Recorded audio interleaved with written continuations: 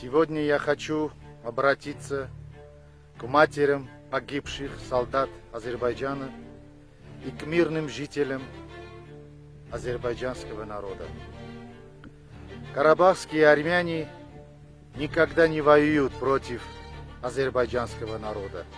Армяне воюют против Алиева и Алиевского клана.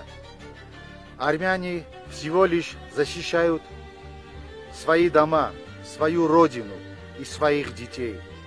А вы не знаете, за кого воюете и за что воюете. Воюете за те земли и территории, которые никогда не были вашими и никогда не будет. Скоро и очень скоро вы будете знать, что за 20 дней войны у вас погибли около 10 тысяч аскяров.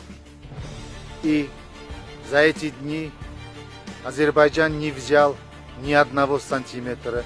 И когда вся правда будет открыта, после этого вы сами своими руками будете казнить вашего президента прямо в центре Баку.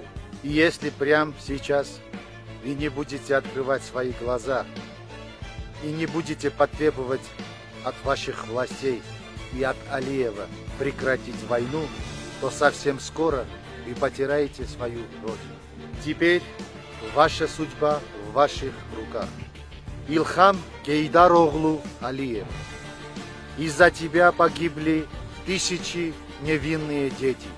Из-за твоей власти и миллиарды ты продал Азербайджанская республика Эрдогану. И этот поступок твой народ тебя никогда не простит. И учти, через несколько дней весь мир узнает, что ты самая длинная нога азербайджанского ишака. Наше дело правое. Победа будет за нами. Карабах – это армянская земля.